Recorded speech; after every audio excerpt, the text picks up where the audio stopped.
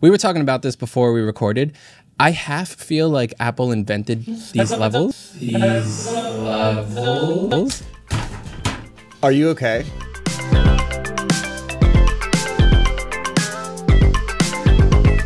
All right, what is up, people of the internet? Welcome back to another episode of the Waveform. Po- Something feels off. Yeah. Something feels a little backwards right now. That's right. We're the hosts this week. Oh yeah, they don't know where all the sound buttons are yet, so they might be a little slow. Oh, they, they know where that one is. This is one of those 'Cause things it's a big red one. Requires an explanation for audio listeners. Oh yeah. yeah. So for those of you who are not watching us with your eyeballs, Adam and I are at the big table. The big boy table. Marques and Andrew are at the producer table, and this is because last week We had a mutiny. full on revolution. no, we played a game of ping pong, two games of ping pong, doubles ping pong, and in those games It was there high stakes. There was a bet that if Adam and I won, we would get to sit at the big table and host the podcast. And here, Here we we are. are. At first, I thought we were joking, So did I. Same. and we started playing like really well. And it got real it's serious." Fine, Andrew, we can't lose. We're playing so well. And then we blew kind of a big lead at the end. Yeah. So here we are. I So- definitely got to work yesterday, and they were like, "So, you excited to host the podcast tomorrow?" And I was like, "Oh man, we're doing that!" Like, I was like, oh, okay. I'd say we let them win because then it just it's less work for me to do this week. "Oh my I'm just god!" kidding. sure. We, got, we got beat fair and square. So this week we have a lot of topics. We have a Vision Pro stand, a new Garmin, uh, Signal, WhatsApp, iMessage, all had updates. AI, Reddit training deal. Walmart buys Vizio. Apple added a ton of things. Sora, we never spoke about last week. Yeah, we didn't get a OpenAI, chance. Sora, we didn't talk about it. So there's like a lot of uh, a lot of things that we have to Yeah. get into this week. But first, Apple Vision Stand. Apple Vision Pro. Stand. Is Friend, that how is that how we sound? Yeah, it's weird, right? I'm just like, I've never seen it from this perspective before. It's it's it's I, really good. I, like will it. say you definitely have it down better. I felt like I was just reading off the the page here, but like you, you do a thing where you like get- look up, you look down, you look up. and, Yeah, you get know. into a flow of it Yeah, for no. sure. exactly. I'll get there in three episodes. Well, to kick it off, our good friend of the show, creator of the Apollo Reddit app, Christian Selig, posted a uh, 3D printable Vision Pro stand that I thought looks really nice, and I just wanted to shout it out because this is an interesting time in the Vision Pro's life cycle. There's not a ton of third-party accessories you can buy, but they are slowly hitting the market, and Yeah. this one is free and 3D printable, and I thought that was great. But I did yeah, this sent you down a rabbit hole. a few other Vision Pro accessories, uh, some of which are neat, some of which are hilarious, and I just wanted to show you some of them this week. The first one, I, am sorry, I had to. I, I just the power of having all these buttons here. I'm so sorry. It's really tempting. do you see the temptation now? I'm trying not I'm- to press them all the time, but I was. I just. I'm sorry. oh my god! Well, the first one, arguably the least ridiculous, is, uh, and you can buy this at an Apple store too. This is the Belkin battery holder. It's sort of like one of those uh, cell phone belt. See, I would argue this is the most ridiculous because you could buy it at an Apple store. Really? This is like they're like they're selling this officially. yeah, yeah, yeah. A belt clip for a battery pack. Does the battery get hot? Like if it's in your pocket? No, but what if you have no pockets? Mmm. You know. Big brain. Yeah, and no pockets with belt is a reasonable clothing situation to find oneself in, I think. Um, not that wearing an Apple Vision Pro is a reason- reasonable fashion decision to find oneself fair in. point. But they only get weirder from that. The second one we found that I thought was just hilarious is an adapter someone selling on Etsy to uh, instead of the uh, what's the twin band called the the top band Dual loop Dual band. yeah, so instead of the dual loop band, if there's not enough cushion and, and whatever for you there, this lets you attach a second solo knit band to your existing solo knit band, sort of as like a, a skull cradle. Top step. It's one of the strap. silliest things I've like ever seen. This is this is good. Like, This is thi- good. This is a good one. This is what Apple should be selling. Well, if you think that is good, if you want to go to the bottom of my list, uh, you know, Marques has mentioned Apple Vision Pro puts a lot of weight on your cheekbones. There's a lot of vertical force Yeah. going down. So, with this product, you can uh, wear a baseball hat and then actually hook the Vision Pro onto the brim of the cap. as like an additional support layer. This is awesome. This is the kind of innovation I want to see. and if you buy two of them, it's only $34 each. On top of the 3500 for the Vision Pro. Yeah. But that's fine. and I don't know why you would ever need two. Uh, the last one I saw is I like I this has to be something that existed before, and they were like, oh, this would work with Vision Pro. Um, it's the weird Temu link for like this sort of balaclava looking thing that I guess? I have helps never your seen face this. not get sweaty. this is a thing? I mean, it's on Temu, so thing is, you know, really loose description of what it Relative. Nice, nice. But I feel like you'd get sweatier with this. It's I- just putting more fabric between your face and the thing it's. But it soaks up the sweat. yeah, maybe it's like breathable or something. Oh, it says breathable. Is it though? It's also two dollars and twenty four cents. I know. I don't know how much I'm believing Look this. at the third photo Mark has just looked at, and look at the with mask, without mask. Oh my god. It's just a woman Oh my profusely God. sweating, and then a woman not sweating, but has a little cloth. Yeah, mask but on. is also a ninja. It's Ridiculous. it's crazy. But um, yeah, shout out to Christian. Shout out to the emerging Vision Pro accessory market. Excited to see what else gets there. Before we launch into the real stories this week, we also want to mention David, who's in Japan right now instead of being on the podcast, put out a video on the studio What a channel. loser. Who goes to Japan? God. He's actually doing something really cool there that I don't know if I'm allowed to talk about, but hopefully in the next few weeks Yeah. we can mention. But he uh, just put out a cool video on the Fuji X100VI, uh, which is weird because that's the successor to the X100V. So clearly they need to figure something out in the naming department there. Yeah. But it's a great video. Talks all about JPEGs and HEIFs and compression and color and uh, If you like HEIFs, that's your video. if you yeah exactly Yeah. If, if you're if you're a heifer. Marques. No, good, a good shout. I like. I love that video. It's super good explainer. I find the Vision Pro accessories fascinating Yeah. Really? Okay, go on. we, remember maybe this was like two weeks ago. We were talking about this magical like three to five percent of the price of the object is where the accessory should be priced.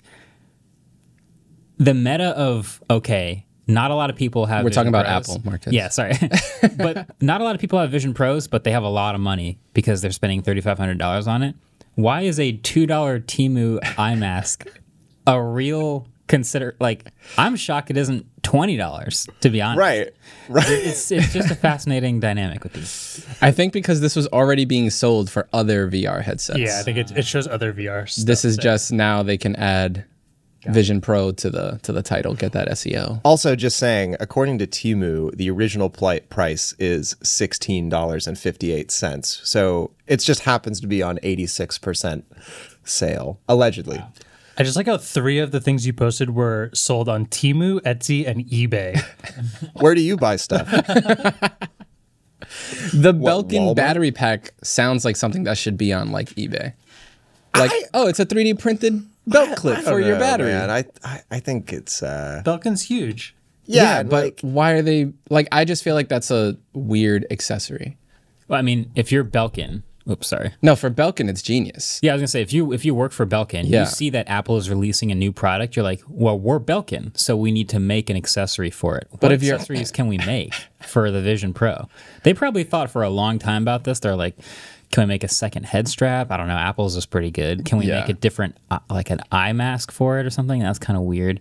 Well, we do make cases. We can make maybe a carrying case. Oh, Apple did that already, but you know what we can do? Belt clip. But what's crazy is that they had to go to Apple and be like, here's our idea.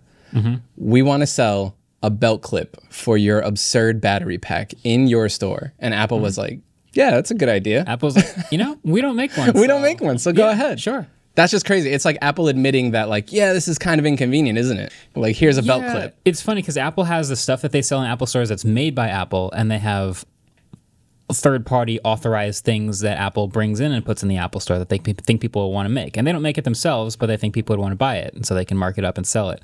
And there's lots of weird cases and accessories for their products and little stands and things like that. Like I wish my iPad would just stand up by itself, but they hmm. the folio case is 80 bucks. So maybe I'll buy like a random other stand that they sell. Yeah. So they Apple allows it, I guess, and this is fine. it's like Belkin is is one of those fish that like eats the al- algae off the shark. Like the shark's like, I won't kill you. It's exactly what yeah, it is. yeah. What is that called? The The remora. remora. Fish. Oh, yep. Oh, I feel like you had a whole video about this, Marques. Mm-hmm. Yeah. I do feel like that too. Oh yeah. Crazy. Uh, but anyway, Adam, we're watch guys. We are. What are you wearing today? Which watch? Watch check. I'm not wearing a watch. Dang. Love that. Love that. And it's funny because you came to me and you were like, "How do you feel about talking about watches on the podcast?" And I was like, "Yeah, sure." I assumed you would wear a watch. I know. Ah, oh nice. well. Okay. well, Garmin has a new one, the Forerunner 165, which I actually kind of like. It's pretty sick. Uh, normally, Garmin watches are very expensive. Like the one that I wear right now is the Fenix 7 Pro Sapphire Solar something edition. Adds seven more adjectives to the name, and it's like eight hundred dollars, which is ridiculous. The one that Andrew's wearing is a thousand. The Apple Watch Ultra is eight hundred, right? Okay. I think mine's. I think the one I'm using currently is 800 because it's not the solar version Oh, or something. okay. But yeah, Yeah, they're- Garmin they're- watches are super expensive. They're crazy expensive. That's the point. So like this one that's coming out now is two forty nine for the regular Forerunner one sixty five, Whoa. and two ninety nine for the Forerunner one sixty five Music Edition. I think music something. Uh huh. Um, basically the music. The only difference is you can put music on it. I don't know why that's like a separate thing, but okay. Yeah. But either way, two forty nine, two ninety nine is really good. That's crazy. Yeah. And it has like a 1.2 inch AMOLED screen, which looks pretty good. Uh, judging from the videos I've seen, because I've watched a ton of YouTube videos about this thing, because all the reviews dropped yesterday. I think the biggest differentiator in a lot of Garmin watches to me are the ones that have the AMOLED screens Yep. and don't. I agree. Um, they they just look so much better when they're AMOLED. Yeah, mine doesn't have- not. I yeah, think it my does watch not. looks so much better. It does. Yeah. Yeah. thanks. Thanks for rubbing that in. Yeah. It's so so much better yours. Yeah. But yeah, so the AMOLED screen is actually like really nice. And then this one, so the Forerunner series in general is Forerunners. Um, and oh, sorry. Hold on. Wait, wait, wait. uh oh. Oh no. Oh wait. Wait. He's going for it. Nice. Took a there it is. My He's bad. getting it. I'm an amateur. Uh, but yeah, so it's Forerunners. They have a bunch of different like uh, options. There's the nine nine sixty five, I think is one that they have. That's like the higher end one. Um, yeah, the Forerunner 965 is the most premium one they sell, and even that is six hundred dollars. If you're not super into running, it's really unlikely that you're going to buy one of these like higher end Garmin's or something. Yeah. Um, so this is pretty much, and I really like the uh, the marketing for this this watch as well because it says go ahead sign up for that race. That's like the tagline for this watch. And that is perfect for the kind of watch this is. This is for someone that's like kind of into fitness but not really. Like they're debating running this year. They're trying to get into it but they don't want to spend $800 on a watch for something they might not even be doing in six months. So this is like a way and not to say that two or three hundred dollars isn't expensive but like the alternatives are 800 you know like it's Yeah, crazy. yeah. so having the the features from the higher end Forerunner series come down to something at this price point, I think is super exciting. Uh, like this one has body battery, a Garmin coach, so they have like marathon training, race adaptive training. So basically, that means that when you start a plan and you're like, oh, I want to do a half marathon in a couple months, uh, it'll set up a schedule for you. And if you miss those like run dates like I do all the time, it'll just automatically adjust the runs that you should be doing to like keep you on pace and be like, hey, I see you uh, skipped the last couple runs. Like I'm gonna adjust the rest of the schedule to keep you on track. Um, there's sleep tracking and a sleep score, but the killer feature I think is this thing has an 11 day battery life in smartwatch mode, and and it has an AMOLED display, so that's like pretty insane. 11 days. Yeah, but that is uh so there's a YouTuber DC Rainmaker, great great freaking YouTuber. Uh, he reviews all these watches, but he in his review pointed out that he got consistently about four days, and that's with one or two workouts each day. I wonder if that's also with always on display. I've, It is, I found yeah. mine always on display. I can get like six days, but if I were to even just turn on like raise to wake, it could go up to like ten plus pretty easy. Yeah, it's crazy. And and two workouts a day, like That's a lot. yeah. well, not two workouts, one or two hours of workouts each day. Although I'm sure for the review he probably did do like two workouts a day just to like try out cycling and also running. But Here, here's my question: Does this thing have the same sort of ruggedness that the more No. expensive ones? No. No. So the the one that like I'm wearing, the one that Andrew's wearing, these have a kind of metal top to them. Um, like I don't even know if it's what it's called, so I don't want to say what kind of metal, but it's the top is metal. The rest of it is like a, a poly resin or something. These are also plastic. So the glass screen is obviously glass, but the watch itself is more plastic, which isn't. Um, that's more like a Forerunner line thing. That's not necessarily this model. Okay. All of the Forerunners are a lighter weight kind of resin. Yeah, the Forerunner stuff is very specifically for running. Yeah. Um, and like Uh, they- Marques, they Marques, do it.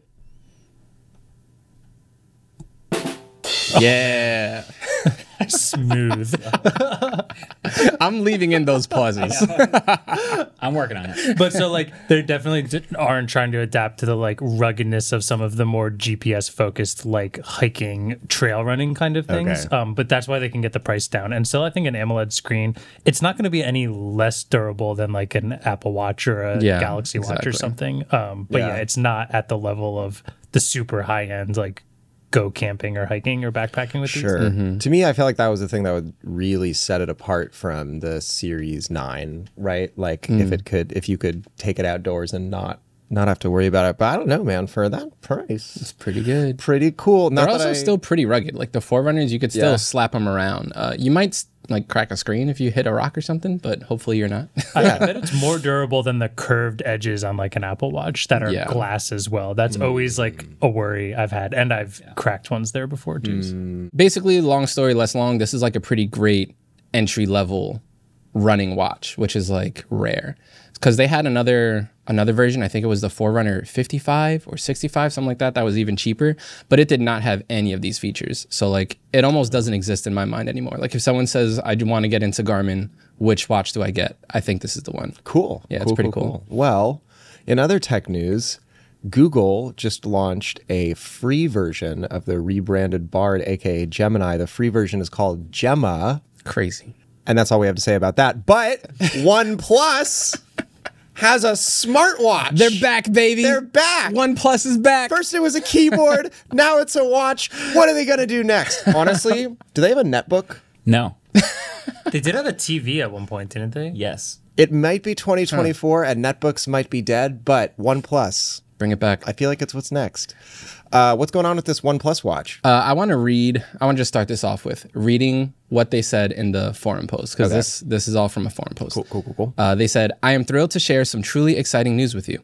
After a three-year hiatus and a reflective pause following the OnePlus Watch One, we are returning to the smartwatch scene with the OnePlus Watch Two. Brave. The OnePlus One, or the OnePlus Watch One, excuse me, uh, famously not a great watch. Uh, Marques reviewed it, and I think your tagline was "They settled." Are you excited for the for the second version of this? Me personally, Yeah. I want to see it do better. Yeah. Okay. Yeah. Yeah, because the first one. So okay, so first of all, here's what we know about the new OnePlus watch. Uh, two colors, black steel and radiant steel, which is just black and silver.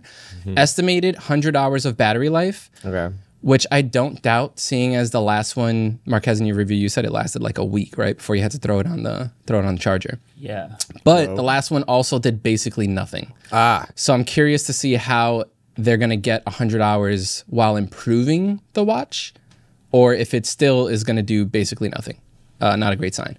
Also, the other thing we know is that it's going to be unveiled February 26th at MWC in Barcelona. And it also has a new tagline. So the Garmin one, I liked the tagline, like just do that race or whatever it was. Yeah. Uh, this one is, they're changing it from flagship killer to ecosystem builder. ecosystem builder. Like the watch will build you an ecosystem. I guess so. I don't know. It has a bad ring to it. so- Yeah. I get it. They're trying to add to like the ecosystem of OnePlus products, but flagship killer just hits so It's much so harder than hard. ecosystem Yeah. builder. Well, that's Like, not threatening at all. Minecraft, Yeah. Like it, it went from flagship killer, which was like, ooh, like I'm paying attention to what you have to say now, Deadly. to ecosystem builder. That's like a slide on a deck somewhere. Also, definitive downgrade slogan. Yeah. Yeah. Not great. Also, like a watch doesn't feel like something that builds an ecosystem. It's something that complements Yeah. ecosystem. That's another, yeah, that's a You good know? point. It's not the like building block of an ecosystem. It's something that you toss in after the ecosystem is built already. Because I mean, maybe I'm wrong. Maybe I'm wrong. But uh, based on the people I know, no one is going to buy, you know, a two hundred dollar smartwatch and then it's like, okay, because I have this watch, I'm now going to get a three thousand dollar computer. you know, it's it's usually the other way Maybe, around. yeah. I think it, I think you're right, but uh, it's also interesting in the the way that people fill out their ecosystem. Right. Usually, it starts with the phone, And then what is the second or third thing that you buy? And uh, is that purchase directly impacted by the ecosystem? So, like iPhone's the obvious one. Mm-hmm. I want to go buy earbuds. Okay. The obvious one is the ecosystem earbuds. And Apple's built out this gigantic ecosystem of, oh, you want a smartwatch? We got an ecosystem one. Oh, you want a tablet? We got an ecosystem one. Oh, you want a headset? We got an ecosystem one. And I think OnePlus is trying to do the same thing. Mm-hmm. Okay, you have a OnePlus phone? Great. You want a smartwatch? Here We're going to go. build out our ecosystem a little bit. We got a tablet. We've got other stuff. So wouldn't the the phone be the ecosystem builder? I think the phone is the hub. Yeah. And all the things around it are ecosystem builders. Okay. Really, Okay, That's how I see it. Interesting. Okay. you're like totally in the Apple ecosystem, right? Uh, right now, I mean, you're, I guess you're wearing This a Garmin watch. yeah, I have Garmin Watch and I use Windows at home, but at work it's all ew. Apple stuff. What do you mean? Ew, Windows Use is great. Windows at home. Ev- the world uses Windows, Ellis. Adam and I chat on MSN Messenger when we're at home. no, you don't. no one chats on MSN Messenger. Not Uh. I'm trying. Well, I was just thinking because I feel like I actually might have. I, I went sort of a zigzag route through the Apple ecosystem. I think I because I switched to Mac in middle school. Never looked back. Never ever even once looked back. um, switched to Apple in middle school. Got an iPhone. Switched off of Android in high school. Wait, so you had an Android phone? I thought that your first phone was iPhone. No, no, no, no. no. Oh, what was your first Android phone? My first Android phone, I had I had two Android phones. The first one was a Samsung with a slide out keyboard, a slide out horizontal keyboard. I- Nice. I, can't remember what it was called. Doesn't matter. The second one was a Kyocera Rise. That thing Okay. rocked. Yeah, that's cool. Yeah, I still have the Kyocera Rise. That was really fun. Nice. Um, and then I got a 4S. Mm. The good one.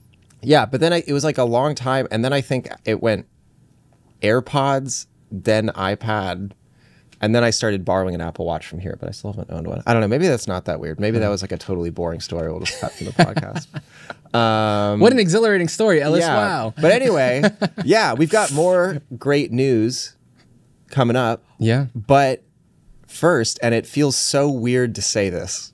You got to do the pause. You got to do the pause. I, I don't even know because I'm the this is like my thing. Yeah. You know, like and now I've given it to someone else. You've given up the power. All right, it's time for trivia. Oh, oh. my god, this, is, is weird. weird. Nailed it. you better not mess this up. It's me, sorry. I'm doing the first trivia question. What a smooth transition between Marques finding the button. Um, all right, so Garmin, the company we just talked about, is most famously known for fitness tracking devices like smartwatches. Oh, I already know the answer. GPSs. You don't even need to finish the question. Created their name by combining the name of their two founders, Gary Burrell and Min H. Kao. I did not see that. Okay, this is not what I Min. H Kao. I don't know if I'm pronouncing that right, but Okay. Min H K A O. Okay. But when they first started in 1989 selling a $2,500 GPS device, they went by a different name that also combines two words this time.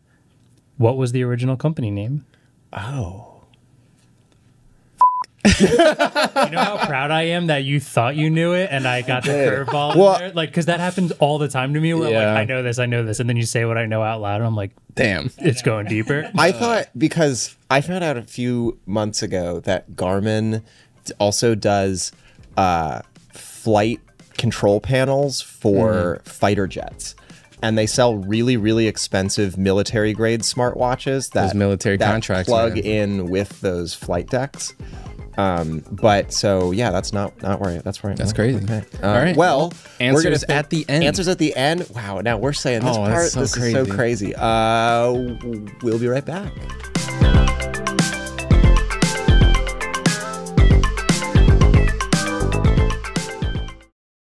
This episode is brought to you by Visible Wireless. Okay, so Visible Wireless is one of our partners, and they're pretty great. They asked me to talk about why Visible might not be interesting for you.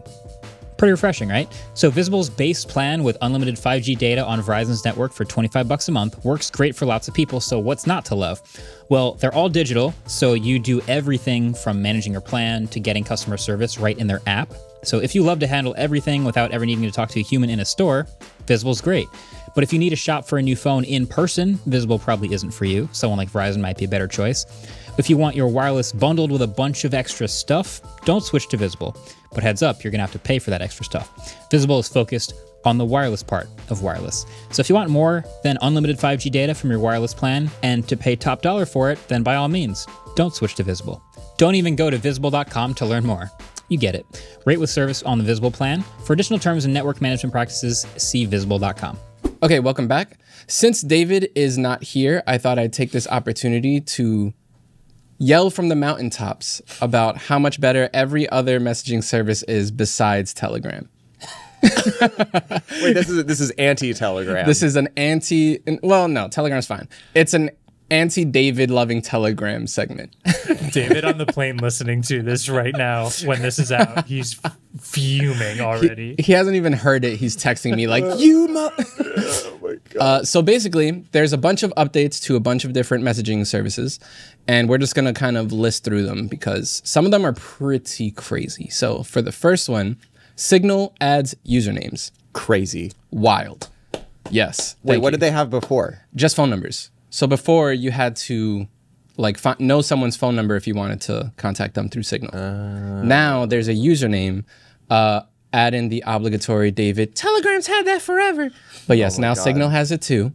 Um, basically, it's a username that you can use to initiate a message with other people. Once you start the message, then they can see your phone number if they have it in their contacts already. Otherwise, they do not see your phone number. Cool. The username is also not displayed in the chat. So like if you pick, I don't know, Ellis the God 23, Charlemelis, the god. Charlotte Ellis the God, then they'll see that when they want to start a message with you. Okay. But then after that, once you start talking with them, it'll just say Ellis Rovin or whatever you put as your Oh. name in Signal. Okay. Yeah, it's pretty cool. So like a lot of like reporters do this where they mm-hmm. will put it in their bio and be like, if you have a tip, hit me up on Signal 943-228-9666. Okay. But now you can just have your username and just be like, hit me up, let me know what you wanna what you want to talk about. Cool. I don't use any of these apps. well, no, you use one of them. Which one? iMessage. Yeah, I meant I, I use I use iMessage. We're, Okay. gonna, we're gonna get to that. Yeah, we'll get there's to some that one. juicy stuff there, but I don't use any of the like third party encryption. Gotcha. Messaging apps. Okay. Uh, yeah. Um, WhatsApp does not have this feature to my knowledge, and iMessage doesn't either, which is pretty cool. So Telegram and Signal are the only two right now. Well, I, I shouldn't say only two. There's probably a million, but the main two that have uh, usernames where you can start that contact. So that's pretty dope. That's dope. Um, I guess can you do this with iMessage if you make a fake email and just talk to people through your iMessage email account? Because can't you do that? yeah, you can do that. You can do that, right? I've definitely do that all gotten like yeah. Okay. Yeah. So never mind. So I, you can do it with iMessage if you create a fake email. yeah. A lot of the time when pe- when I get like fake Spammers. yeah, or like like a fake USPS text over iMessage, it's got some like ridiculous Hmm. email attached to it. Interesting. Yeah. Okay. Uh, next on the list is WhatsApp. They added new features literally this morning, right before running in here. Thank God it wasn't a crazy update because we had like four minutes to digest this. I know. But basically, there's four new text markdown style syntax formatting options. You can now do bulleted list, numbered list, block quotes, and inline code in your WhatsApp. I Got kind a of whole like that blog though. post in your blog in your WhatsApp Yeah, message. literally, it's pretty cool. Uh, actually, that's not too far off from what I'm sure they're hoping people will use this for because they have those like communities and you can kind of post blog posts in WhatsApp. Oddly enough, so I'm sure that's probably a part of it. No, that's cool. I, I there you know, I my Yes, I just think you can tell a lot of really funny jokes with these things. You know what I mean? I'm weird. Like bullet or like bullet point list sounds awesome. Yeah. yeah. I don't know why I would be excited for that, but like I'm like, oh, I would like to do Yeah. that. There's so many times where I try and send people things like these are a couple options. Someone just asked me the other day, like, what are some different TVs you'd like to use? It'd be so much easier, or mm. like if I could just put out some a couple different companies rather than just comma, and then when they go to look at it quickly later, there's just a mm. bullet point list. The beauty of Markdown, baby. Or what if we were texting each other and you were like, Ellis, do you want to go get dinner here? And then I responded with an inline comment that just said, No, you suck. That'd be hilarious. I think so anyway. That happened in real life, by the way. um, the last iMessage or the last messaging update is iMessage. Which adds they iMessage added quantum encryption, which is crazy. I barely under I understand how like you can you can get prime numbers easier when you have qubits and superpositions and stuff like that. That's more than I understand. So you're way ahead of me. I don't I don't understand exactly how it worked. The the thing that really struck me about this announcement, well, two things. The first is that Apple really seemed to want to hammer home that um, this protects against future quantum computer capabilities. Like even if your hash or your password gets scraped now and then five years from now a, a new quantum computer gets invented and distributed it still can't be i don't know how they protect against the future apple is doing some weird time cop stuff Time Um, cop.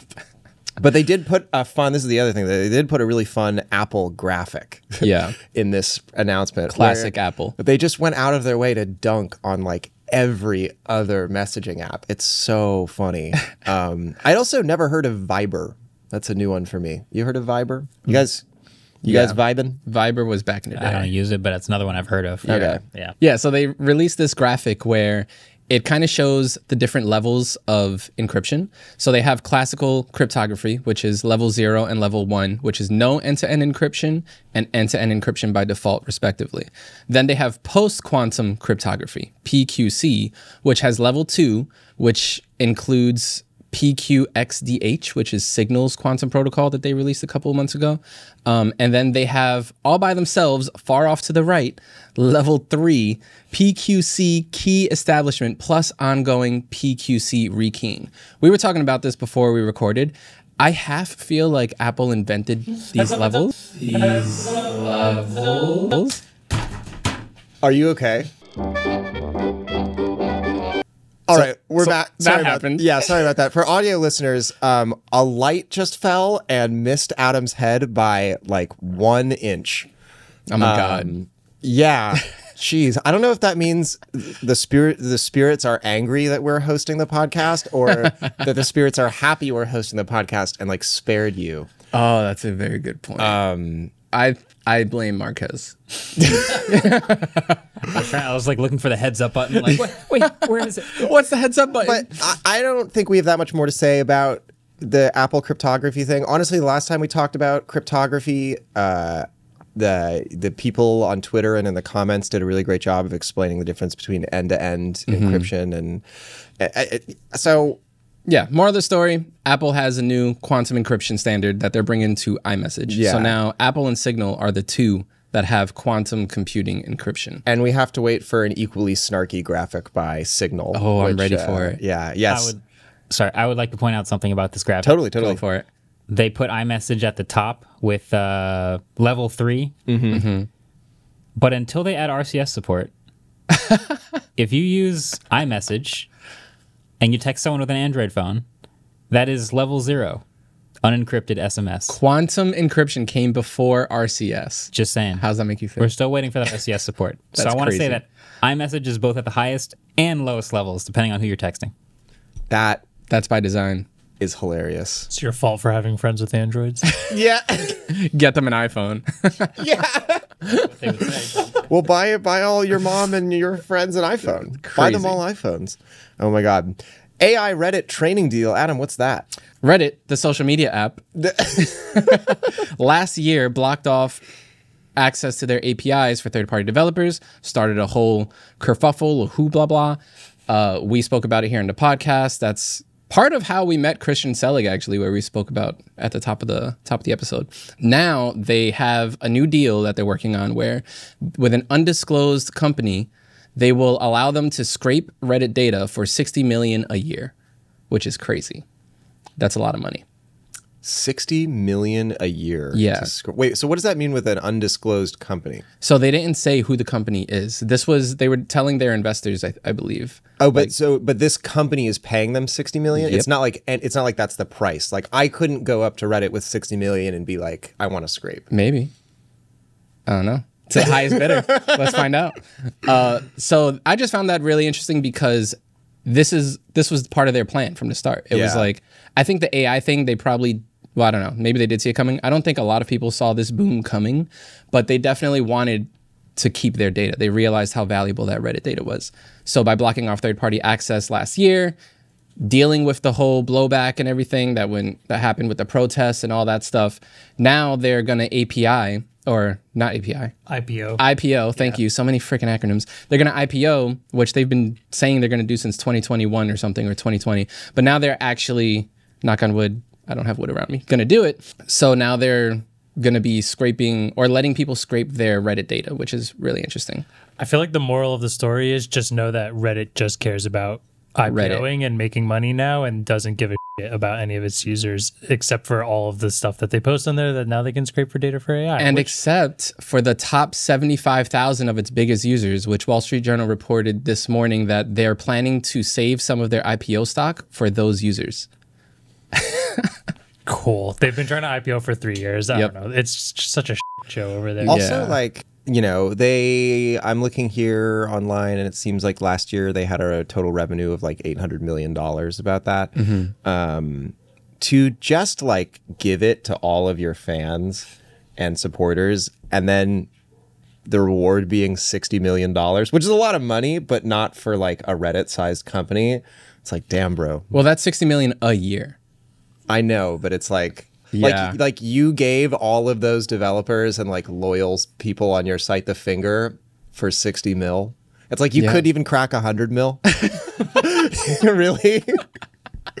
Damn, that unnamed com that no wonder the company's unnamed. They, they don't they don't want to they don't want to out who f- dogged them. Like, for, I mean, I don't know, dude. Like that's what I take away from this. Like, like to do to to to just just just give it to mm-hmm. all the people who support you for for 60 mil. Well, they're gonna give some money back to 75,000 of those top users. Who I don't know who's still there because the like most excited loyal Reddit users I feel like left or like stopped using it in that way. Didn't That's they? what I was going to ask. Do you think so? Obviously, we have our stance on it, and mm-hmm. us being particularly concerned about privacy. What fraction of actual, because 800, however many million people use Reddit every month, how what fraction of those people actually care enough to stop using Reddit? Because remember we hmm, talked about this last time. Yeah. You're upsetting the most important 10% of your audience, and let's say you leave them, you still have 90% of the people. yeah. Yeah. well, your still be true. your answer is that in 2023 the revenue was up 20%.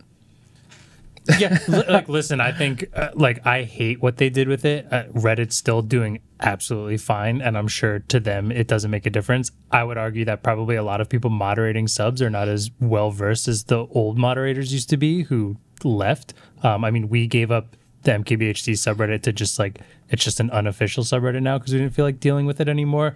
But they're fine. I always knew they were gonna be fine, but it doesn't mean they didn't give a giant middle finger to all their like really loyal users. And again, they were a web-based pl- uh, website that didn't have an official app until they bought a third-party app, called it the official app. It is still terrible, by the way. It is an awful app, and then just said, "Oh yeah, everyone." So yeah, Steve Is- Huffman. Is there like a Reddit like competitor? Like is there another site that you can compare to Reddit that that people Yes. could even Yes. go And to? no. Yeah. There's, it's the same thing as like the Twitter competitor. There's a competitor. Yes. Does anyone give a shit about it? No. I don't know if it still exists anymore, but iFunny feels like it was comparable to No, Reddit. it was not. No? iFunny? No. Why not? Wasn't I mean, there were no just like a random picture of the day that uh, like a No, no, no, that no, no, just stole it, pictures. It was sort of. I mean, I never used it. It was more of a Gen Z thing that I was a part of, but my little brother used it. iFunny has been around for a very No, no, no. Well, that's what I'm saying. It's like Oh. when I, you know, when my brother was like nine and had like a whatever device he had, like iFunny was the app for him and his friends. It feels like just the r slash funny subreddit. Yeah, exactly. But I think there's like a likes and points. I don't know. I uh, should I should um, shut my mouth before the iFunny community comes after me. Lemmy Yeah, I was gonna say is Lemmy. the one that everybody Lemmy. talks Yeah. about potentially being the alternative, but Never heard of it. Yeah, I've never yeah, heard of it's that an either, so open guess you're source right. one. you only hear about it when you hear about people being mad Oh, at Reddit. Is it is it on ActivityPub? I don't know if it's That was a joke. That was a that was a really bad joke. ha ha ha ha. Nice. Nice getting it. All right, you know how who else has billions of dollars? Walmart. Walmart, baby. Oh man. Okay, Walmart. Thank you. Thank you. Walmart buys Vizio.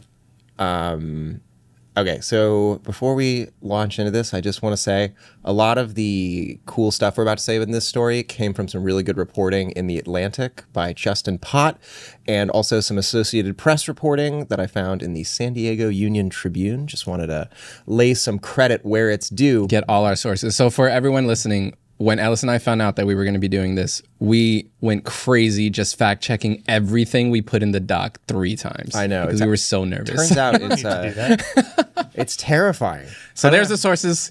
there you go. uh, yeah, and uh, just like really great research and reporting by them. But um, okay, first of all, 2.3 billion, Jordan. Jordan. Uh, second of all, that's so much money. That's like a ton of money, That's a lot of point money. billion. And uh, and I wanted to, you know, it makes you think because Vizio is a budget TV manufacturer, right? And it's not like they've like skirted around and found this market as a budget TV. Like they have made budget TVs since the beginning. I don't really think they've gone into too many other product categories, too Mm. many other markets. Um, Sound bars, maybe? I don't even know. I don't, yeah, but so this is like a weird time to enter the budget TV market, right? Uh, and that's because TVs are like ridiculously cheap right now. Some are free. Exactly. They're, they're so cheap that you can literally get some for free. And this is this is a new thing. Like if you're if you're 10 years old, like I don't know why you're listening to the Waveform podcast, but if you are 10 years old, then you don't remember that 10 years ago, 15 years ago, TVs were really expensive. Uh, did you guys ever play Club Penguin? Yeah. Oh, you did? Okay, we- You he did? asked me the other day, and I was like, I feel Do like you remember what Mariah one of the most expensive furniture items in Club Penguin was? it was the big screen TV. That was 5,000 coins. You could get I'm pretty sure. I don't. Someone will have to price check this, but I'm pretty sure you could get an entire LED dance floor in your igloo for about the same price as a single television. Oh wait, let me fact check this. Yeah, fact check that. um, what it is worth noting that, and this I did fact check. Okay, this I did fact check that a puffle in Club Penguin was one sixth of the price of a TV. You could purchase literal flesh for less than that of a TV. Okay. Anyway, TVs are cheap for a few reasons right now. One is uh, they completely changed the manufacturing process. They use this thing called mother glass, where they start with like a big giant glass sheet and they can stamp multiple displays out of that. that's crazy. So there's a lot less waste, which is great. Also, TVs have a lot of competition from the bottom side of the price equation because uh, companies like TCL and Hisense can make really cheap TVs that are still really decent, and that forces the expensive guys like LG and Samsung to effectively lower them prices to compete. But but the big reason TVs are so cheap right now, and this is something people don't think about a lot, is because they scrape an unbelievable amount of data from you. And that's how they make the money back. Just a frankly unbelievable amount of data. Um, and that's why, according to this blog called Carpe Diem, which does like financial graphs and stuff like that, uh, TVs have decreased by an average of 97% since the year 2000. That's right, 97%. Um, and another little fun fact I threw in here that's related is that Roku, a company that also makes really cheap TVs, usually partnered with other people, makes four to five times as much revenue off of what they call uh, platform. Their uh, like streaming platform. Yeah, so that's like ads on the Roku channel, licensing out the operating mm-hmm. system, this, that, this, that, than they do on their actual devices. So it's way, way, way more profitable to be in the data game when it comes to TVs than it is to Which is why the telly is completely free, and I'm still waiting for mine. Yeah. Where is it? I'm thinking about something right now. Yeah. They What's on your lot, They scrape a lot of data. Mm-hmm. Um, oh no. Oh. Find it. Find it. One, no, No. left, top left. I mean, that's a lot of smarts, but also a lot of data. Yeah. Nice. But also, uh, is that even like okay? What kind of data would a TV scrape from from me? Every let's say it knows everything I watch, Yeah. And when you watch it. and when I watch it, and when I turn the TV on and off. Do you have Yeah. kids? Do you have a partner? Are you alone? Do you think they know that, Yes. Or do they infer that from the data? Do you watch Love Island at 8:30 p.m. two nights a week? You have a girlfriend. That's exa- damn. That's good. Damn, that's good. Yeah. Okay. Let's say so. is any of that information that they're scraping particularly sensitive? Well, no, there's different kinds of data. So there's like PPI, which is personally ident or PII, personally identifiable information, and then PII2, something like that. I forgot. Everyone's gonna yell at me. I know they exist, but I think it's that first kind of data that is not exactly like your social security and everything like that. Right. It's just regular data. Where you live, what time are you watching these things? Do you are you home all day? Do you work from home? That that kind of stuff. Yeah, because I think about like sensitive data. I think about like what I buy, what I what I spend money on, my tax, like the where I live and things like that. And uh, obviously that stuff, like a browser would know, or like a someone you buy a product from would know. But the TV, it's like I don't really mind if anyone knows how much TV I watch or where or how much it's on or any of that stuff. Well, Am it's I not exactly. It's not. I think the crazy part is that because of your habits, uh, like because of your viewing habits, then they're able to infer other things that you may care about. That is true. really interesting. Yeah. Also, they'll know like what services you subscribe to. They'll know how you use them, and I think yeah, they can use that to infer a lot of purchasing data. And then also, don't remember, uh, don't forget, um, you get served ads on uh, on these platforms, um, and that I think is the big reason that uh, Yeah. you know, yeah. I sort of trailed Andrew. off. I was just gonna say it's kind of an interesting point to think about in any types of like scraping data is like there are plenty of people who are just like I don't really give a damn about what it is because a lot of it's marketing or or whatever and there are people who don't care as much and there's people who care more. I mean, the Reddit stuff and like scraping it for AI is like I don't really care as much about what I post on there. It's just more of like there's screwing the people over and like making a bunch of money off Mm-hmm. of it. But like, yeah, it's very clearly this stuff is there scraping your data, and that's how everyone's making money these days. Yeah. pretty much. But do you remember the story of how Target figured out that the girl was pregnant before her father? That was all from just data, yeah. that's- advertising stuff. arguably Target would know much more sensitive information about you than They your know- TV? Yeah, They did that Target just off of knows- buying So Target knows where you live. Target knows when you bought things, what you bought. Your TV knows where you live. Yeah, for sure, sure. they know. Yeah, they Yeah. could have where I live, but they don't know what I bought, when I bought it, and in the frequency that I started buying it more. They might see that I didn't skip a certain ad and Mm-hmm. could maybe think about that a little more, but I just I feel like there's levels to like how important the data is. Yeah. And this is a little bit underneath the one that I am Okay. most curious about. Interesting. Do you know what would bump up Target's uh, ways to scrape data? If they bought a television company and then scraped all the data from that, Yeah. I feel like you just went into the point of where Walmart was like, "How do I get more data? Yeah. It's let's buy a TV company." So it's it's actually not just about Walmart getting more data. It's about Walmart leveraging that data. So Walmart has this platform that doesn't get brought up very much that's called Walmart Connect. You guys ever heard of this? Nope. Exactly. So Walmart Connect is sort of like Spotify for Ellis artists, time. but Teach me a thing. it's for brands who sell things at Walmart. So so if you're like a brand or a seller, you can go into your Walmart Connect and you can buy placements on the Walmart homepage. Uh, you can buy ads as part of Walmart's ad stuff. And soon, because Vizio has this whole TV streaming uh, ecosystem, they'll be able to plug all of those ad spots and all of that demographic data into what they describe as a closed loop ecosystem. That's a big part of the Walmart Connect um, selling point to sellers is that not only do you give them money and they place ads, but then they give you also Walmart customer specific feedback, which you can then use to do a stronger campaign and create the closed loop. And hmm. this is huge because Vizio, according to their last shareholder thing, had uh, 500 advertising partners. Um, 500? 500 advertising partners, which means all of those partners are now partners with Walmart. Wow. I guess it's kind of similar to like Amazon in a way, mm-hmm. where if you buy enough stuff from Amazon, they know a lot about you. And then if you're an advertiser who wants to sell something and you want to get it in front of the right people, boy, does Amazon know how to get it in front of the right people. And Walmart is that big and they kind of have the same system going on where it's like, all right, yes, we have physical stores, but trust me, we know a lot about how to get the right product in front of the right people. And Vizio, boy, do they have advertisers that Yep. want to get in front of the right people, and vice versa. They have a bunch of information, and we can use that information. So it it checks out. It No, makes sense. And, it, and I think it puts a really cool spin on some of the stories we've heard over the past year with Amazon and Netflix adding ads to their user experience.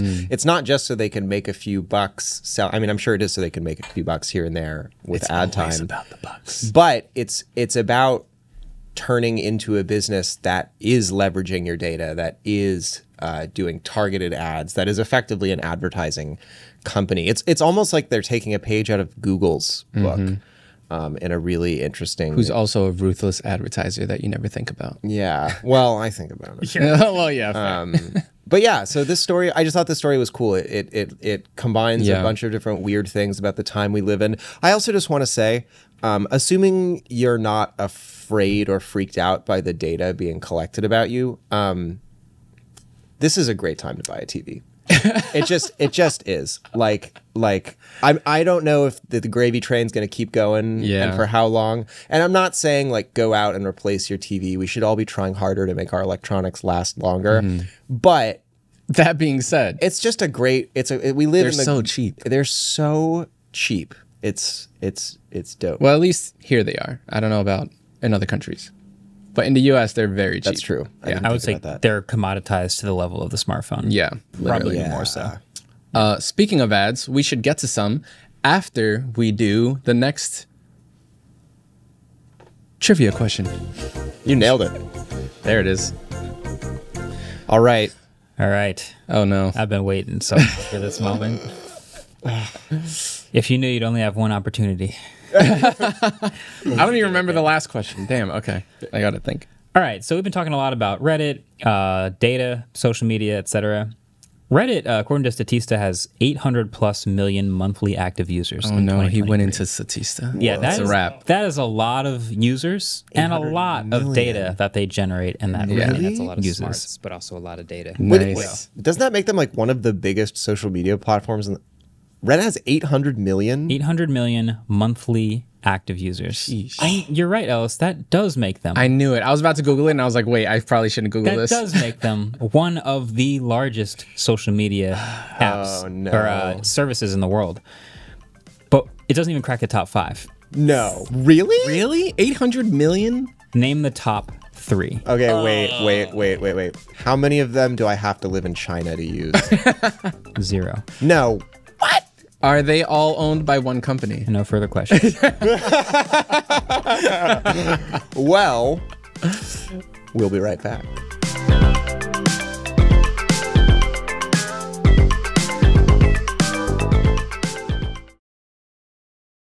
Welcome back to the Producer Forum podcast with Ellis and Adam. Official name. Official name ch- change. Official, Trademark. official name change. Trademark. Uh, we have some Apple news though. Yeah, this is an entirely well, not entirely, but a big Apple section. Big Apple section. Um, first, Apple Music monthly replay. It's like Spotify Rewind, but Spotify Wrapped. It's like Spotify Wrapped, but every month. Too much. Do you think so? It's too much. I have been listening to pretty much two albums since the year started. I've been on this like Same. serious two album kick. Yeah. So it would just tell me how much I listen to those two albums. Yeah, that's what I'm saying. Uh, which would be kind of interesting, but I don't know. I could be wrong, but my, personally, my listening habits don't change that much month to month. I like the yearly recap because it's a the year is long. My winter mood, my summer mood, my fall mood. I feel like doing it every month. I'm just never gonna check this. Like I don't care. I'll wait till the end of the year. yeah, it doesn't. I don't know. It, I mean, we saw it also like the Spotify Wrapped has a lot of really interesting, fun little data, and they'll make your like aura or whatever. Yeah. Uh, this is not that. This is just like you listen to this song for this many minutes. Um, so Yeah. no complaints, no notes. I don't know. Yeah. What What are the two albums you've been listening to this year? Uh, let me let me see. While you do that, I uh, want to do a quick interjection, and that's because uh, Adam and I drive home together sometimes, carpool, save the environment. And on our drive home, we've discovered we really, really like listening to this radio station in Jersey City, 91.1 WFMU. Uh, so if you live in the Jersey City area, or I think the transmission makes it all the way to Brooklyn. Um, so anywhere in, in the in the New York the New York City general area, check out 91.1 FM. There's like always something good on. Always. We've it's so good. Um, but the two albums I've been listening to, and uh, I'm the host. I can talk about whatever I want. This Oh, week. let's go. Um, I've been listening to Andy Shauf's Norm, terrific album, and I've been listening to the compilation of Mon- Live at Montreux Jazz Festival Nina Simone you would. record. Nice. Both terrific. Uh, I don't need to know how much I've listened to it, though. Uh, what about you? I've been doing Insano by Kid Cudi. Insano? Okay. Insano, nice. great album. And Creatures of Habit by Kiltro, which is I don't know a random indie band. really good. Cool, cool. You guys want to shout out some music? Daft Punk. No, but I'm open. I'm opening up my uh, replay for February right now. Oh, oh yeah. While Mark has, uh, should Wait, say, you use Apple Music? Not much. Oh, okay. So that's funny. I only use it in Vision Pro, so it's gonna be real limited. and you're you're looking at this replay in the Apple Music app, right? Uh, it brings you to a website and then kicks you out to the web apps. Exactly. yes. For some reason, Apple Music Replay can only be looked at in a browser. Don't know why. Wait, is Spotify rap the same? No, it is on no, the phone, right? no, it's yeah. yeah. it's you can do it in in the desktop and the mobile app, but I don't. Yeah, that's the thing. They just only do it in the browser, which Some- is fine. Marques, what were you listening to in the Vision Pro? Uh, so I, I get to the part where it says, uh, "This is your replay. Jump in." So I click jump in, and it's like your replay is still in progress. Check back in early March. Oh, that's for February. It doesn't give you a January one? I think there's a January It says he button. didn't listen to anything. In I didn't. Look. Uh, okay. Wow. Well, Big Fine. letdown. Yeah. in other Apple news, there's an Apple Sports app. Literally got launched this morning. Yeah. and it's basically just a like score aggregator is what it seems like. But and this is one thing we were talking about bef- like in before we were recording um, if you open up the app actually let me open it up right now just to make sure so i don't get this wrong. But if you open up the app it gives you the game that's upcoming. So and if you click that game the very first thing is betting odds on the game. Oh. no stats no stats about players or anything like that just betting odds No. which It is doesn't even have stats. no, it does if you like cl- click into it, but it's more like the first thing it gives you is the betting odds, which I found very interesting. N- Look, if you sports, if you if you daily fantasy or whatever the kids are calling it these days, like uh, no shade, you know what I mean? I get it, it's fun, but it's also like Apple. What are you gonna do? Porn next? like, like, like this is like the least Apple thing I've ever. That's more what interested me. It's very un-Apple like to me to be like because that is like for adults. Betting is for adults, It's like and Apple is positioning itself always to be like safe for your kids, like their whole Yeah. iPad thing, turn off the screen This and everything. And now it's just like, nope, here's some betting odds. this is unsavory. But anyway, besides that, the app looks pretty cool. No, it does. I'm excited. I'm excited to not have to Google Philadelphia 76ers three times a day. Yeah, exactly. losing. I know, I know, Andrew.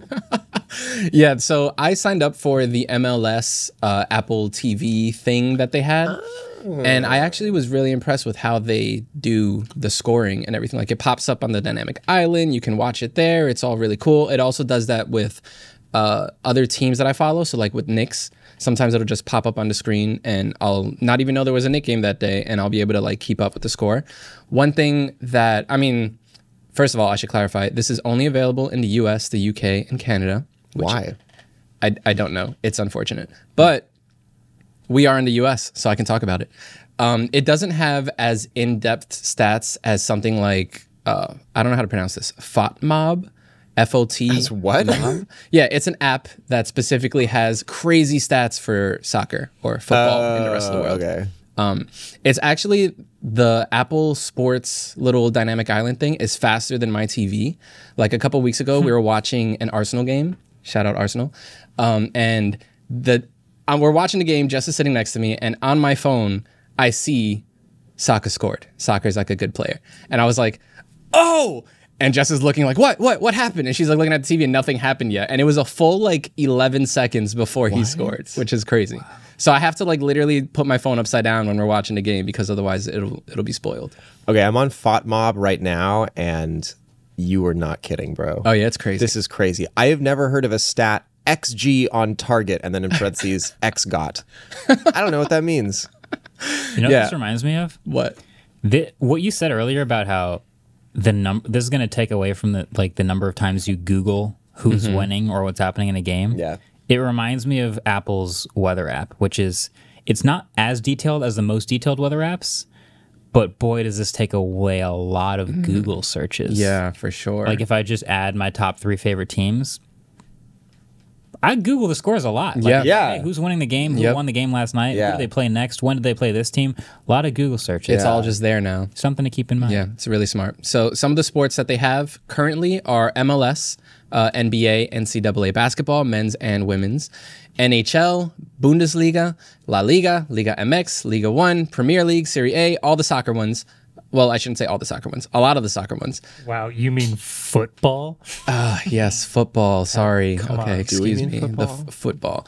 There's also more leagues that are coming. Wait, there's not even football. Uh, because the season's the se- well, that is a good question. Are they going to add football next season? supposedly they're going to add it. So the ones that where the season is over, they're it's not included in the press release, but it's upcoming when the season starts again. So WNBA, uh, MLB, NFL, those are coming. Word. Yeah. So pretty cool overall. Like Yeah. I just found it again very interesting that the betting odds was the first thing you see. Dude, it's wild. I'm not happy about that. Yeah. But you know, I don't get to decide the world we live in, and uh, that is what it is. I'm just like, why? Are they getting a kickback from that? Do they get any money from betting apps doing great? Like, mean- why have that at the top? Is it just one more Google search they can take away? Also, I Um, didn't realize maybe. that the odds were like the same for all the books. That's like, a great like I would assume different bookies set different odds, but I've never placed a sports bet, so I, I don't even know. If you like click the odds, does it take you to whoever's odds they are, Let's or like see. is it just Vegas odds? it actually just reaches into your pocket and takes your wallet. It does not say. Because if it was specifically someone, I would say they're making advertising dollars off of That's fair. whatever. But it doesn't say. If I click it, nothing down there. happens. Yeah. Ladies, if your boyfriend sports bets, ask him if he has restrictions. Because if you win a lot in those apps, they put restrictions on your account. They kick you off. if he says, no, I've never been restricted, he's losing your money. Shout out Buddy Hield. my guy's played four games for my Sixers. He's averaging 23 points. Yeah. This is now a basketball podcast. This is now a basketball podcast. crazy. Psych! Adam, Adam, ask who has him on the fantasy team. You got Buddy Hield? Who's got Buddy Hield on the fantasy team, Marques? Let me Marques? just check. Let me Marques just picked him up. Let me just- as Ellis was saying that. see what that says. Be healed. No games. No games today. It's All Star break. Oh, okay. Yeah. But uh, I do in fact have Buddy Hield. yeah, Nice. yeah, yeah, Nice. yeah, yeah. What pos- what place are you in in our fantasy league, Marques? Top two. but not one. Top two. Top two. I'm half a point behind Alex. Oh, no, Okay, you're okay. sorting wrong. That's No, it's I. You're sorting wrong. I'm right behind Alex. Okay, but this is not totally a basketball podcast because last week we did not get the chance to talk about the stupid regular host somehow forgot to talk about OpenAI Sora. So we're going to clean up the mess they left for us. Um, wait till you see the mess of this producer's table. When we're done. Lights falling down. OpenAI Sora, it's a text to video uh, AI. Yeah. um, just want to say, uh, like all the coverage I was reading about this were like, yo, like this is the first to market, like this is here. Runway has had text to video for a while. You and Brandon always talk about Yeah. Runway. What? We don't just talk about it, we use it. yeah, like, we use what it professionally. specifically? Like it has this feature. It's it looks more diffusion-y, you know, than the examples that that uh, yeah yeah it eating looks looks a little more spaghetti-y, but um, no, it's like it's much more of like well, first let's talk about Okay, yeah. the the announcement. So on OpenAI's website, they made this announcement for this new thing called Sora. They are still red teaming it, which I think means they're trying to have people do bad things with it. so Yeah, it's like a security term. Yeah, I, again, we're not security guys, as you could tell from our cryptography uh, quantum computing segment here. Before I was almost killed by a light. Um, but it looks really good. And the cool things that they're sort of like pushing forward as big features, and these are things that I have found Runway to sort of struggle with custom resolution. Um, so you're not just locked into like 720 or 1080 or 4K. You can do lots of weird resolutions, which sounds small, but when it comes to machine learning, is big. Like I, I, I use this software called TouchDesigner, which has some AI integrations, and I remember reading this whole thing about this uh, facial recognition, facial tracking AI that someone built for it wouldn't work if you used a vertical webcam feed. Same exact thing, but as soon as you changed it from a uh, horizontal to vertical thing, it just broke. But so yeah, uh, custom aspect ratios, custom resolutions. Uh, it can do multiple figures and subjects really well. Um, Interesting. so it seems like it's pretty cool. The part that I found really cool was in the sort of like tech paper thing that they published alongside. And that was that um, they already have GPT, which we know is a transformer model. And they already have DALL-E, which is.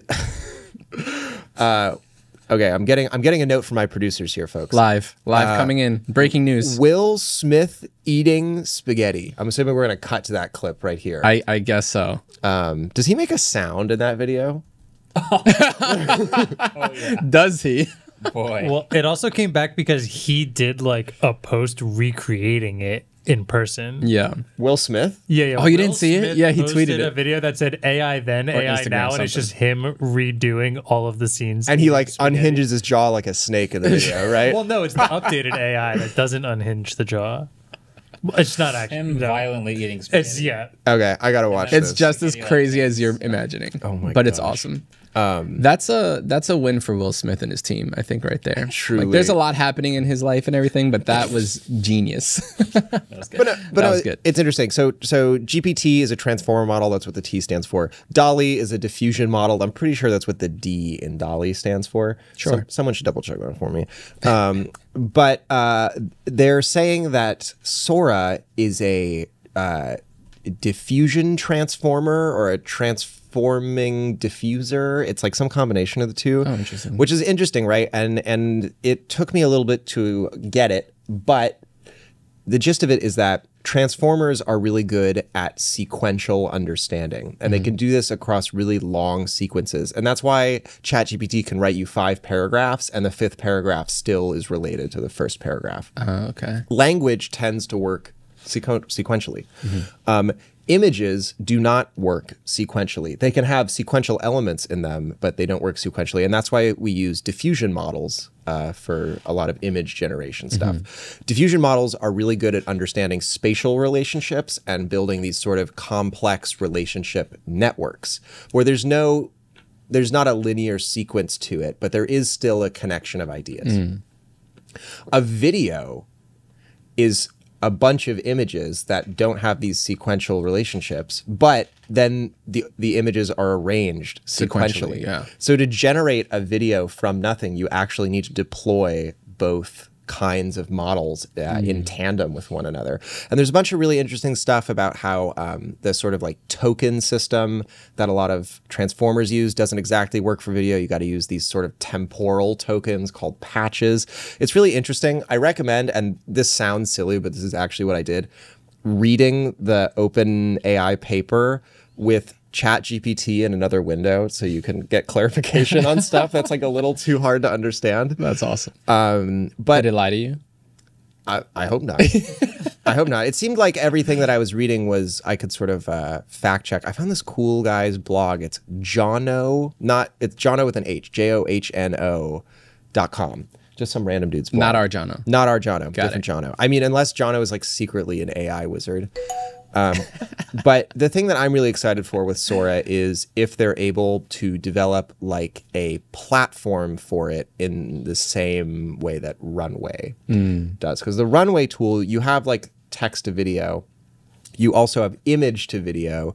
You also have video to video. And the video to video is like really cool. Like the example they have on their website, which I think illustrates really well, is someone set up a bunch of books standing up on a desk and then using and then filmed a shot and then using runway was able to turn those books into skyscrapers and have it be like a city fly through scene Interesting. um, then they also em- deploy the runway models to do things like automatic uh, background removal. If you've seen the Ellis versus AI video, the scene where like my, wi- hair is getting blown back and stuff, that I we didn't use a green screen. It was just shot in a normal room. Oh, I was then, there. And then we AI'd. Yeah, Oh, we I just know. AI'd the background out. we sprayed uh, water on your face. Yeah. so I, if Sora is actually all that and as good as OpenAI wants us to think, I can't wait to see the platform that it is wrapped in. Thank you for letting me talk about that for 15 minutes straight, America. Nice. Let's go. Quick fact checked. DALL-E is not an acronym. It's not an acronym? not. We've definitely talked about this before. It's just the combination of Salvador Dali and WALL-E. Damn. Nice. Well, I will say, Andrew, now that you're back in the pod talking, um, you mentioned the other day something really good that now I see in every like Sora video, which is the keying on like random movements. So like if you watch a video, it, the camera will just like drift to the right, and then out of nowhere, just like really hard start drifting to the left. Mm-hmm. It's like they haven't learned how to ease in and out yet, which is interesting. Yeah, it felt like there was one specifically with a turtle, and it mm-hmm. was kind of like panning on this turtle, and then just kind of like went left. It looks like anyone who's ever video edited before the first time they add keyframe movements to something where there's not the smoothing, it's just like left, left, left, left, right, right, right, right, and Yeah. like there's. It's almost smooth, but not smooth at the same time. I don't know. If you're into, if you know keyframes, you would see it in a second. It's just very interesting because some of these demos are insane. Like it really replicates hand movement of like cameras that are holding or people holding cameras and the little jittery things that you get. But then like that one motion, it just really messes up every time. I, I watched every single thing I could find generated by Sora. And Did you like? the- You should do a video on this. Yeah, you should do the thing. no, I, I had showed a bunch of them in the video that we made, but it is remarkable how good it's gotten so quickly and how how well it is able to reproduce the parts of videos that you can ask for. Like some of the prompts are like, make this look like 35 millimeter film, make this look like uh, cartoonish or hyper super realistic, and it does that stuff too, which is Yeah. crazy. And it does make me wonder because now there's a meme of people tweeting real videos with Made by a Sora. prompt of like mm. handsome man walks down Broadway and it's just a video of themselves and it's like haha made by Sora but it looks like you. But now it's like how many these videos really could just cross your Twitter timeline or Instagram timeline and just look like a real video and Yeah. you wouldn't know unless you watch it a third time or a fourth time upon which it becomes very obvious when you see the things like Mm-hmm. the keying or like the legs overlapping or the hands turning into 7 or 12 fingers or whatever. But it's really fast It's how fast scary. it's. Like like Mr. Cheddar. Oh no. Oh no. Mr. Cheddar was this thing that spread around Twitter. It's it's this it's really hilarious. It's a picture of a rat and wearing like a tuxedo jacket, I think, with his arms. He's standing on some carpet. He's rat sized, and he's holding out his arms like this. If you just Google Mr. Cheddar, I already put in the it'll chat. come up. It's not the first time we've looked at this Yeah. on the podcast. Uh, also, Oh yeah, no, we've talked about Mr. Cheddar before, but no, it, it it no one knew it was a Midjourney image until like months after it. Like like not that obviously it's not a real rat. Yeah. you know. Yeah, I feel like everything is believable where if it just crossed your timeline, but the a lot of times the giveaway is fingers. In a lot of these videos, it felt like the giveaway was like real world physics. It didn't quite mm. get like there was the one of the birthday cake where candles are blowing in different directions, which didn't make sense. And there Turbulence. was inside your house. and there's another one of the cat in the bed with the person, and the bed comes or the like blanket quilt comes from like behind her and just like flops over top of her with absolutely no movement. It's just like the mm. way it moves is just totally wrong. You know what it doesn't have? It doesn't have conservation of mass. yeah. Mm. Like like the if you watch the iconic one everyone shared of the lady walking down the street in Tokyo, Walking down watch the her street. legs. They like merge and blend into each other over and over again and just swap back and forth. Hmm. I don't know if you noticed that. Like I that did not. that dance move with your knees. Yeah, except, exactly. except her right leg becomes her left leg. And then swaps back in. Like the like you said with the hands, like people will clap and the hands will just merge into one hand and then split back into two hands. Like that is weird. The blanket will like become more blanket and less blanket, and it looks physically realistic, but like also How where did did that that mass happen? come from Yeah. and why is it moving? Weird stuff like that. It is weird. Am I the only one that's like terrified of this? Oh, no. you too? Me. Okay. Yeah, I yeah. make videos, so I'm pretty worried. I'm terrified, but I feel like I've gotten enough mileage out of the runway platform and it's helped me do work enough that I'm feeling excited. But you're not also trying to like de-establish a government or something, you know? Hmm. Not that you know. Not that I know of. Not to my knowledge. It has got, Looking at you, Belgium.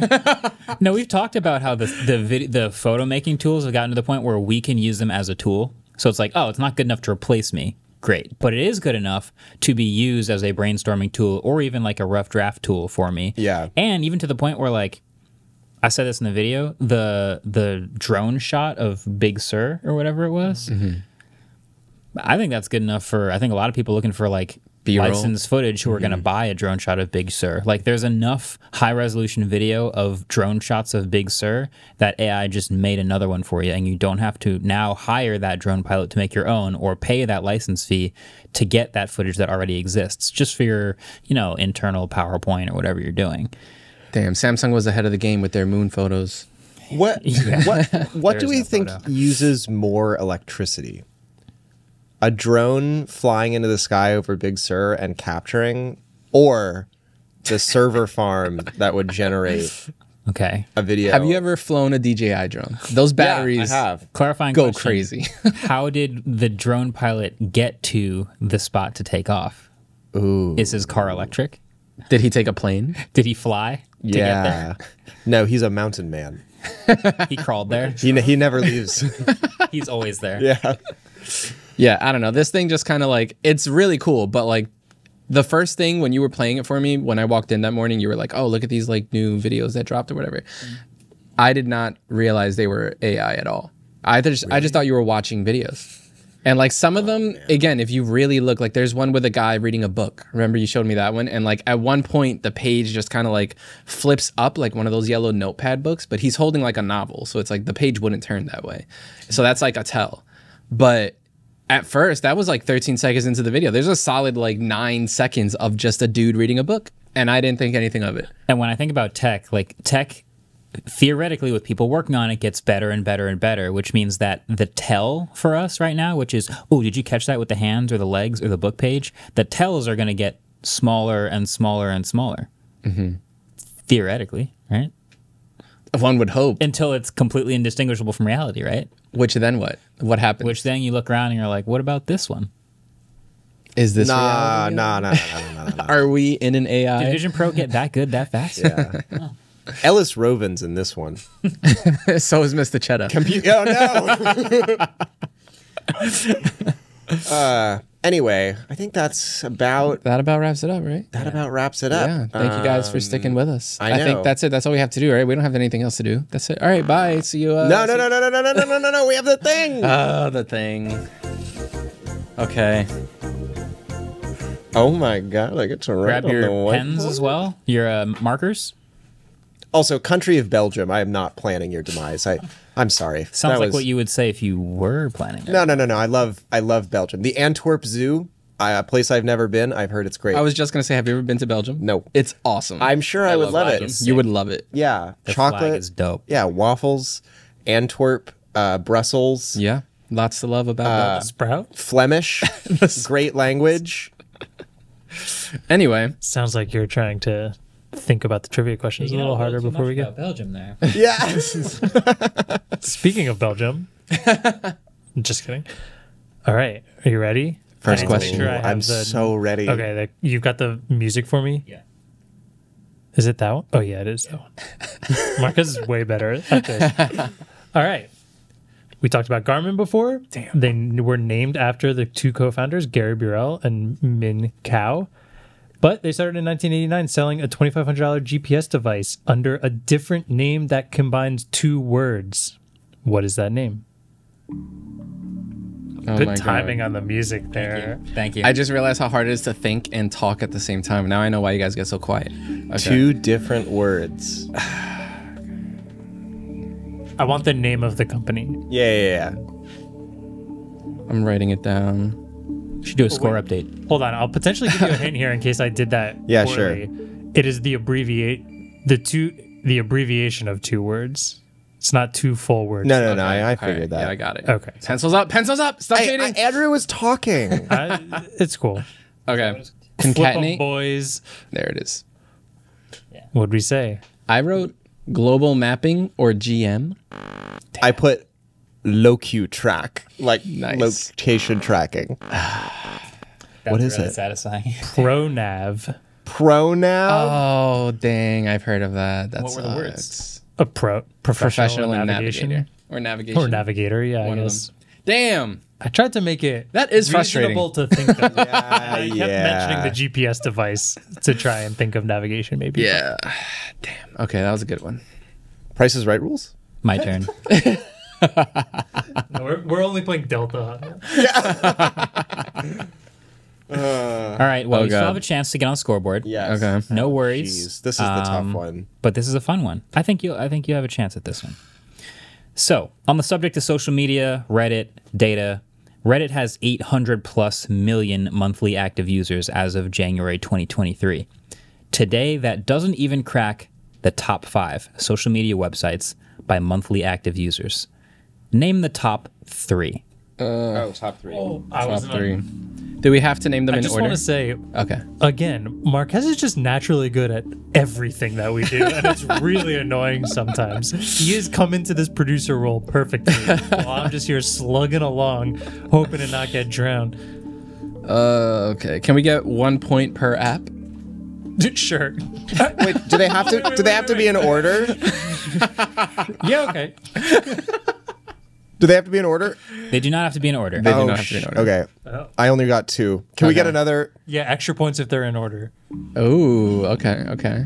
You want to hear three things? Yeah. So, I'll give you 1 point per correct answer. All right. and a fourth bonus point if you have them in order. That's four points. I can take the lead Three. here. Top three, you could. Okay. Most used social I'm ready. media apps. I'm ready. Oh my by God. monthly active users. Sorry. I'll give you a fifth point if you name all of them. All. Of the top five, All of top five. Wait, you asked for top five. I asked for top three. yeah. And one point for correct answer. Five. Fifth point if you name all of them. All of what? All every social media Every network. social media. All right. We good? Yep. I think so. Say All right. Flip them, flip them, and read them. Oh, All right. man. I wrote one Facebook, two WhatsApp, three Instagram. No. In order? Very, very, very close. Oh. Wow. But unfortunately, you named. Well, I'll let Ellis go first. I put one Facebook, two WhatsApp, three TikTok. Damn. So here's the catch. Mm-hmm. There's a tie for third, and Adam, you named both of the ones in a tie for third. Oh, WhatsApp so I'm and gonna give you credit for naming the top three, even though that was technically How did he- 3A and 3B. Okay. Wait, what? He only named three apps. He named three. Yeah. So I missed named- number two. You named number one, Facebook, Mm-hmm. three billion monthly active users. You named number three, WhatsApp, two Okay. billion monthly active users, and you named number three, Instagram, two billion monthly active users. What's number Okay. two? What you both missed is YouTube. Damn. Oh, get out of here! That is a, you can't even send a DM on that website. oh no, no. Where's Damn. Where's TikTok? TikTok here. I'll, I'll pull up Statista since I mean I feel like we all love the numbers of this. Yeah. one. TikTok is right behind Instagram, 1.6. Oh, so no, no, no, no, no, no, no, no, no, no, no, no, no, no, So you have See, to convince me YouTube's not social media. you can't send a DM. Marques, Marques, Marques. How many? Marques, Marques, Marques. How many followers? How many subscribers do you have on YouTube? Almost 19 million. Correct. How many? How much engagement do you get when you make a community post? Depends, but Uh, it's about one percent. Doesn't sound like a social media site to me. How many how many followers do you have on Twitter, and how much engagement do you get when you post to them? Uh, it depends on the post, but I've I well, hold on. Let's let's go to my Twitter now. Because Damn. I've gone viral. sure, same.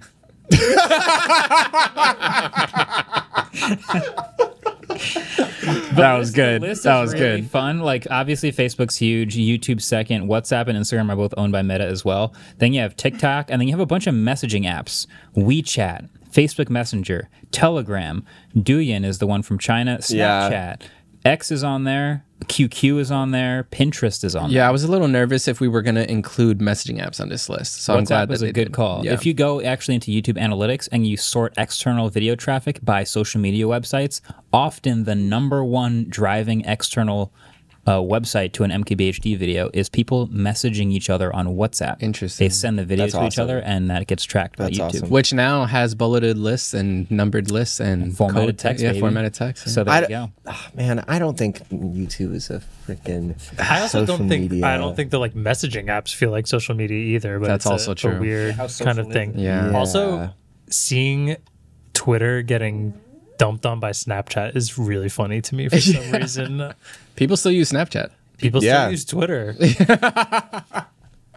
I do. Not as many.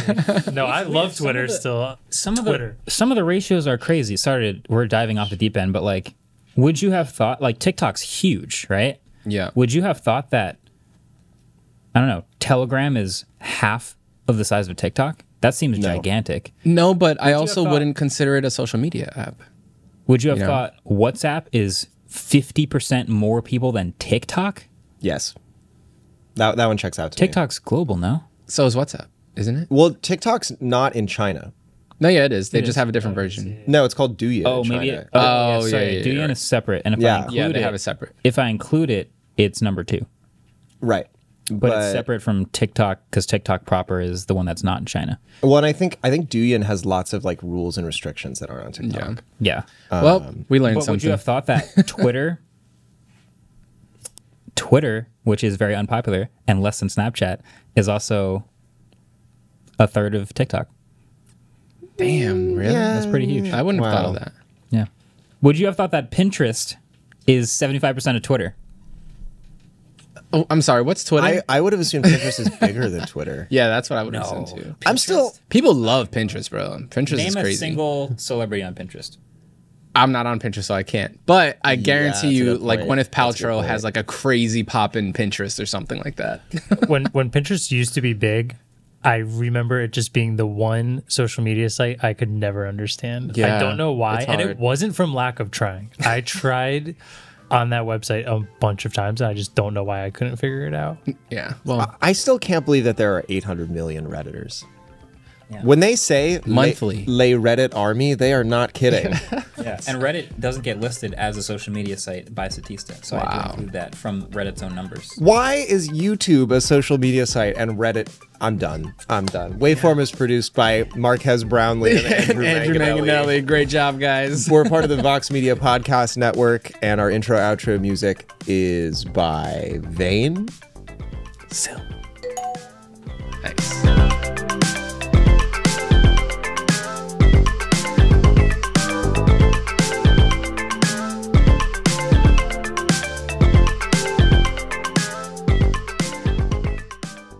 I think we should Imagine if it's falling, Marques is like,